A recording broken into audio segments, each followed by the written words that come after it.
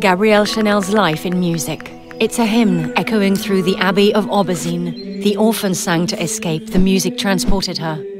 It's a popular song in a live entertainment bar in Moulins. To lift her spirits in the evenings, the young apprentice seamstress would sing a Coco, hence the nickname Coco. It's a bel canto aria in a Parisian salon. Gabrielle bought herself a grand piano, her first major purchase, to listen to her friends Poulenc, Satie, Auric, and Misia play.